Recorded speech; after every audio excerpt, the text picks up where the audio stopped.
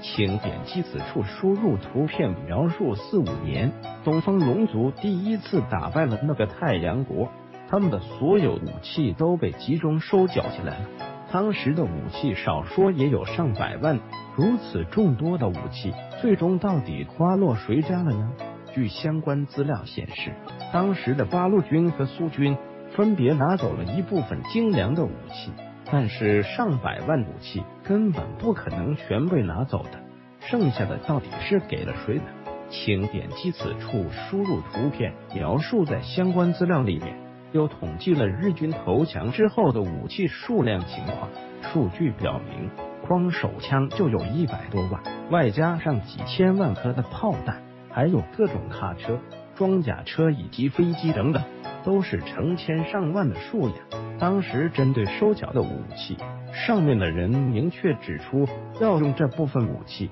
来加强各个部门的军事能力，尽可能的挑选出杀伤力比较强的武器。当时日军的投降地点是在东北，因此武器基本都集中在了东北这一块。请点击此处输入图片描述，苏军来到了东北之后，划走了相当多一部分的武器。大概有占三分之一左右，而且都是挑选比较好的武器和装备，特别是飞机、装甲车这类，基本都拿走了。此后，进入东北的我党部队也划走了一部分的武器和装备，因为装甲车和飞机这类大型装备已经被苏联拿走的差不多了，他们所划走的基本都是武器，比如机枪、大炮。请点击此处输入图片描述。苏军在拿走了数量如此众多的武器之后，可能高层也担心引起外人的不满，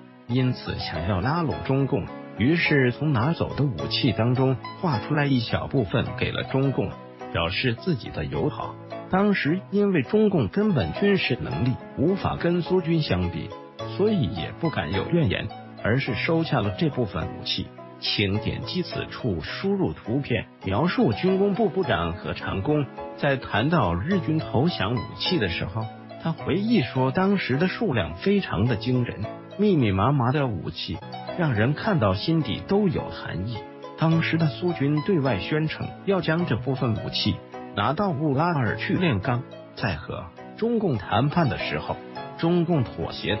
协议上声明。要用废钢铁进行交换，也就是说，苏军拿出一吨的废钢铁就可以换取一吨的武器。当时苏军带走的武器和装备非常的多，何长工说，当时用了好多货车，拉了好几天才拉完。不过，眼睁睁的看着如此多的武器都被苏军给拿走了，中共当时也不乐意了。毕竟武器装备能够让军队更具战斗力。为了能够拿回武器，中共开始和苏军进行谈判。谈判的结果就是，中共要拿农产品来换取武器。最终，中共答应了这个条件，拿大量的粮食换取了日军的武器和装备。不过，当时的苏军给中共的基本是十分破旧的武器高端的东西依然没有给我们。